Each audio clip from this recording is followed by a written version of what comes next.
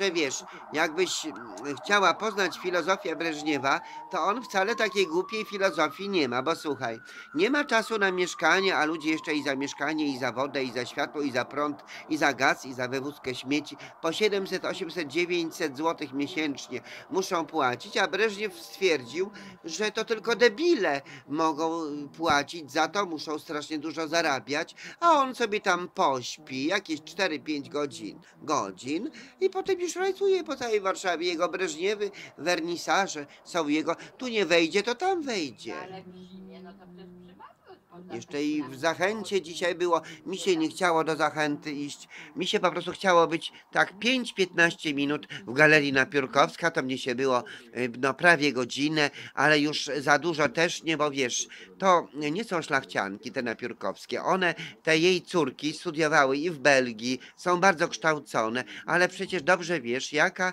jest moja wiedza z Pisma Świętego, że apostoł Paweł nawet zrzekł się faryzejstwa, tych szkół, które skończył i powiedział, że do Jezusa Chrystusa, żeby przyjść, to trzeba być pokornym, bo pokorne ciele dwie matki się, a harde żadnej. No, i są tacy ludzie, którzy nie są pokorni. Dlaczego? Bo w ogóle i głupi są. Na przykład ten Wiesio też powiedział o tym kurczaczku, tak się tłumaczył, że on jest nikim. Ja mówię, daj ty sobie spokój, to jest dziecko i on ma prawo być sobą. Co ty? Bo on myślał, że on może ma jakiś tytuł, że może, a jak nie szlachecki, to może doktor naukowy, wiesz, bo ładnego buziaczka. Ja mówię, daj spokój, przestań w ogóle, nie odzywaj się w ten sposób, bo siebie robisz jako kogo? Jako dupka, jako głupka, no i oczywiście, że jako kołka rozporowego. I ta Rumunka mówiła, a to kołek rozporowy. Ja mówię, ale ty masz te określenia, że ja się może nawet czegoś nauczę. Kołek rozporowy. Z budowlanki. Także tutaj, proszę Państwa, po prawej stronie mamy galeria Karma. Tutaj na Placu Zbawiciela, gdzie była tęcza. I myśmy wielokrotnie w tej galerii Karma tutaj występowali. Występuję. Ja tu dwa razy występowałam. Ten pan, ponieważ on do Niemiec jeździ i z powrotem, on zapamiętał, że ja tak pięknie i słowiańska dusza i summertime, że takie te brawa były i Lasota za, y, zawsze zapowiada tak. Proszę Państwa, że oto ten artysta jeszcze wystąpi. Lasota, wiesz? Ona była świetna. Ale stwierdziła, że już musi z tej Warszawy uciekać jakoś tak, ja nie wiem, zachowała się jak kopciuszek i mm, na Litwę, na Litwę. A wiesz, że Litwinki są bardzo inteligentne? Nie. Nie miałeś do czynienia. Wiem, że baby nas chwały. Słuchaj, te baby warszawianki są tak tępe i ciemne, że ta Alina Lasota to co którejś musiała tłumaczyć, gdzie tu jest na Bacha 15, Dom Kultury, gdzie ona u, uczyła się rysunku u Magdy Kardasz. Czy nie Kardasz? Poczekaj. Czy jakaś tam, bo one mają podobne nazwiska, też taka ruda. Słuchaj. I ta Lasota uczyła się malunku, bo ona była poetką, była reżyserką, była malarką, śpiewała w zespole Śląsk, ale jak mnie przedstawiała Alina Lasota, no to mi się to też bardzo podobało, bo ona jest bardzo pozytywnie myślącą kobietą. I tam na Litwie te Polki, które tam pojechały na Litwę, nie dają sobie rady politycznie, bo to tam nie lubią Litwini, to ona wstawia się za wszystkimi tam Polkami na Litwie, wiesz? I taki to jest jej, tak, wielki bój Aliny Lasoty.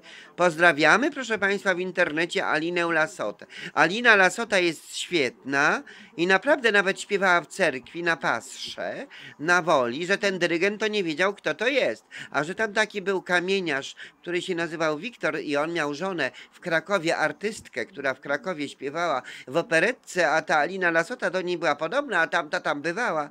No to mówi do mnie, kto to jest? Ja mówi, no przecież wiesz. A potem powiedziałam, że ona po prostu przyjechała ze mną. On mówi, ten Wołosiuk, profesor, co do Hajnówki jeździ jako jury. O Jezu, żeby nie, nie zapraszać tak nagle, bo on jak nie wie, co to jest, to on mało by nie zemdlał. Ja mówię, to jest reżyserka i stała koło mnie. A że buzię rozdziawiła, tam udawała, że śpiewała, to on myślał, że ona, wiesz, coś tam zmieni. Nic nie zmieni. No. I był, e, było śniadanie o czwartej rano, było bardzo dużo wina, było bardzo dużo wódki, nawet były piwa, także ta napiórkowska Art Gallery niech się wypcha, niech się wysra, niech się wypierdzi i niech się wytwierdzi, bo tak, prawosławnych nie podrobią, świadków Jehowy też nie podrobią, bo u świadków Jehowy jest co któraś to Justyna, wiesz? U świadków Jehowy co któraś to jest Elżbieta, wiesz? No, ale teraz natomiast tutaj w Warszawie, jak one zaczęły tak kręcić, chachmęcić, łachmęcić, no to wiadomo, że Elżbiety nie podrobią, no bo tutaj świadków Jehowy w ogóle w Warszawie nie ma. Skoro muszą przyjeżdżać tutaj do Warszawy z Anglo, Ameryki, Białystok, przyjeżdżają świadkowie Jehowy, przecież przyjeżdżają owi święci w dniach ostatnich tego złego systemu rzeczy. To tylko w naszym radiu to KFM Euro Kącita Barbie Baby Langstrom Extra się dowiesz. Tylko to u nas, proszę Państwa, gdy nadaje nasze radio, to KFM Euro Kącita Barbie Baby Langstrom Extra. Nie ma już, proszę Państwa, Żydów Jachwę, bo nawet w czasie Mojżesza Państwo zobaczą, jak Mojżesz poszedł po przykazania na górę, to oni już krowę ze złota ulepili. My mamy na szczęście krówkę przyzwoitkę. Potem, proszę Państwa, jak były przykazania, to drugie przykazanie jest, nie będziesz czynił obrazu rytego, nie będziesz się temu kłaniał, to znaczy temu obrazowi, nie będziesz temu służył, gdyż ja, Jachwę, jestem Bóg Twój. Usuwanie świętości. To znaczy, że to drugie przykazanie Kościół katolicki, proszę Państwa, usunął. Usunął to, co w kółku jest. Nie chciałabym, żeby to był cień, a dziesiąte podzielono na dwie części, ani żadnej rzeczy, która jego jest. No i z Żydami współpracują katolicy, że ani ci nie są przy Jachwę, ani ci nie są przy. No to więc, proszę Państwa, jeżeli wielka niesprawiedliwość się dzieje tutaj w Europie, bo tutaj w Europie zamordowano Jezusa Chrystusa, to właśnie dlatego, choćby właśnie dlatego, Jezus Chrystus nie chciał tu się pojawić po raz drugi. Jezus Chrystus pojawił się po raz drugi w Anglo-Ameryce Białystok. Natomiast Moherowi niech się wstydzą, bo proszę Państwa, teraz nadchodzi czas, że my będziemy omawiać książkę Wielki Bój. Niech Państwo tylko zobaczą. Wielki Bój. Ellen White, która napisała, świeczkę zaraz zapalimy na to cześć. Ellen White napisała bardzo dużo książek. Była to bardzo płodna pisarka. I czy Państwo myślicie, że tutaj w Polsce to by ktoś o tym wiedział? No choćby dlatego, że tutaj co jedna polska na przykład pisarka musiałaby być wielka, że ona o 6 stycznia to tak mówią, tyle książek napisała, a nie będą przecież mówić o Ellen White.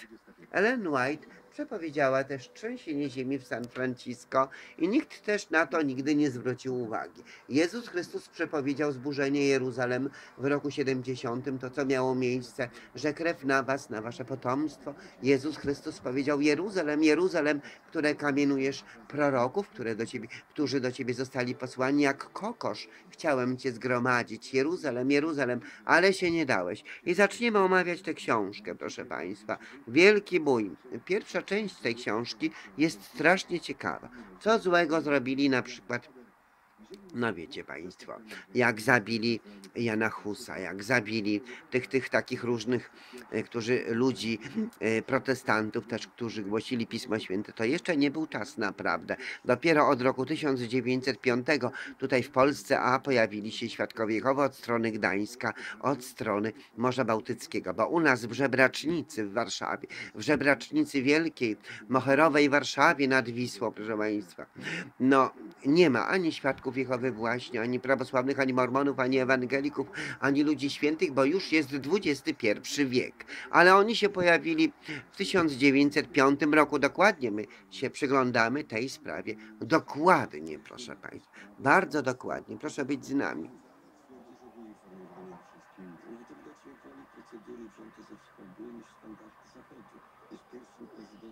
Posłuchałyśmy radia FM 24, jakieś podejrzane. Teraz mamy tok FM. Wszystko podejrzane, co Bogu nie służy, to wiadomo. Historia Karakali i zakop amerykańskich śmigłowców jest jak historia z innej cywilizacji. Tym bardziej, że sprawie towarzyszy się wypowiedzi ministra Antoniego Macierewicza, które niczego nie wyjaśniają. No to jest ciągły interes. Rzeczywiście jest drugie dno, bo to, że sam Macierewicz jeszcze w tym roku obiecywał, że w tym roku... Macierewicz, proszę bardzo. Radio Koncita, obrotowe, ruchome. Proszę. Zasłony w Radio Koncita.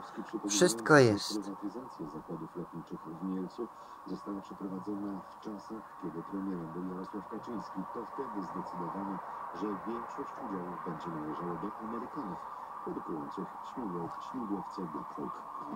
Zarząd Alma Market złożył do Sądu Rejonowego w Krakowie Saska Kępa, powietrze w Warszawie jest zasmrodzone. Co sekunda ludzie umierają na raka, bo tak samo jak Hugon Bukowski kopcą papierosy. Każdy katolik kopci papierosy, ale ja mówię, przepraszam bardzo, jeżeli chodzicie na mszę, to po co kopcicie papierosy? Czy ten ksiądz katolicki wam nie może powiedzieć, że to jest strasznie rakotwórcze? I tutaj tak, smród, bo to stoją wszystko. Na Saskiej Kępie dzisiaj, na Saskiej Kępie dzisiaj piątek, korki, smród z rury wydechowej, rakotwórczy smród. Powiedzieli, że połowa ludzi mniej, 30%, 35% na Podlasiu, tam gdzie są zielone płuca, ludzi mniej umiera na raka. A tutaj bardzo dużo ludzi i na zawał serca, i na raka, bo jeżeli w Żebracznicy, w Polsce A, tutaj w Warszawie Moherowej, na Mazowszu nad Wisłą, cały ten naród jest hipochondryczny, jest nerwowy, no to nawet jeżeli jest też i rechodupstwo, to to rechodupstwo też jest hipochondryczne, to to rechodupstwo też jest takie nerwowe. Także proszę myśleć więcej, czytać Pismo Święte, studiować, nie studiować głupot, bo po co wam te tytuły? Dziady niech studiują Pismo Święte, żeby człowiek nie był dziadem, tylko żeby był dobrym człowiekiem, żeby y, umiał ro, rozróżniać, że Breżniew, jeżeli Kateriny Napiórkowska Art Gallery leży na oknie, no to jest to bezdomny, trzeba mu pomóc, dać majtki, dać kurtkę, wyprosić może z galerii, ale grzecznie. No ale niestety przy wejściu trzeba po prostu albo zaproszenia wprowadzić, sprawdzać, bo jednak w Napiórkowska Art Gallery ludzie nie mieli za bardzo zaproszeń. Wchodzili na twarz. No i teraz, jeżeli też Wiesław Przybyłowicz wszedł na twarz, to po co ten ochroniarz, taki, który wcześniej nie pracował, pierwszy raz pracuje i się przyczepił? To tak samo, proszę Państwa, może być, co spotkało Teatr Żydowski Gołdy Tencer. Też jej pracowniczki, nie w porozumieniu z nią, zaczęli się przyczepiać do ludzi, jak to po żydowsku, czyli odwrotnie, czyli od końca. Zaczęli wypraszać, zaczęli przepłasz, prze, przepłaszać i tak się skończyło, że zamknęli Teatr Żydowski, tej całej Gołdzie Tencer. Ja już jej nie żałuję, bo ja lubię w sumie Gołdę Tencer, ale nie żałuję, no, że spotkał ją taki los, że zamknęli teatr, nie wpuszczali ludzi do teatru, więc już nie mogła zarobić na niczym. Artyści niech sobie tam występują, że powiedzieli, proszę bardzo, jeżeli tam scena się ma zawalić, czy sufit w ogóle w teatrze, to na was. Pogoda. W nocy zachmurzenie małe i umiarkowane miejscami duże temperatury od minus 2 na północnym wschodzie Polski około 3. W centrum do 7 na południowym zachodzie, gdzie słabe opady deszczu. Temperatura od 6 stopni na północnym wschodzie około Moherowi 10 przegrają przecież w wielkim boju, jak my Biblię będziemy czytać. informacji dostępne jest w aplikacji mobilnej TOK FM oraz w archiwum na stronie tokefm.pl ukośnik audycje.